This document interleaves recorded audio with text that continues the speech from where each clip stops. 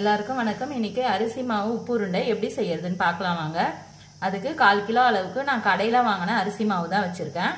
அரை முடி தேங்காய் துருவுனது மூணு டீஸ்பூன் அளவுக்கு கடலைப்பருப்பு ரெண்டு டீஸ்பூன் அளவுக்கு உளுந்தம்பருப்பு கால் டீஸ்பூன் அளவுக்கு சீரகம் அரை டீஸ்பூன் அளவுக்கு கடுகு நாலு காஞ்ச மிளகா ஒரு கைப்பிடி அளவுக்கு கருவேப்பிலை தேவையான அளவுக்கு சால்ட்டு சேர்த்துக்கலாம். தேவையான அளவுக்கு சால்ட்டு சேர்த்துக்கலாம். ரெண்டு டீஸ்பூன் அளவுக்கு நல்லெண்ணெய் விட்டுக்கலாம். எண்ணெய் சூடான உடனே கடுகு சேர்த்துக்கலாம். சீரகம் உளுந்தம்பருப்பு கடலைப்பருப்பு காஞ்ச மிளகாய் சேர்த்துக்கலாம். கருவேப்பிலை ஃப்ளேமை சிம்மிலே வச்சு வறுத்துக்கோங்க. வறுக்கலாம் தேவையில்ல. கடையிலேருந்து வாங்கிட்டு வந்து அப்படியே செய்யலாம். தேங்காய் துருவல் சேர்த்துக்கலாம்.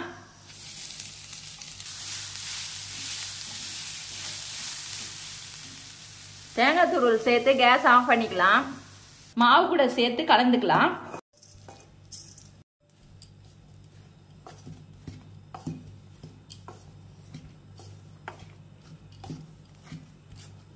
மாவோட நல்லா கலந்து விட்டுட்டு இப்போ கொதிக்கிற தண்ணி ஊற்றி கலந்துக்கலாம்.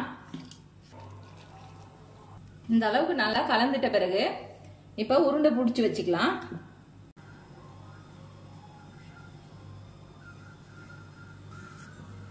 அரிசி மாவு வச்சு செய்யக்கூடிய இந்த உப்பு உருண்டையை நீங்களும் செஞ்சு பாருங்க. இதை இட்லி பாத்திரத்துல வச்சு ஒரு பத்து நிமிஷம் ஆவில வேக வச்சு எடுத்துக்கலாம்.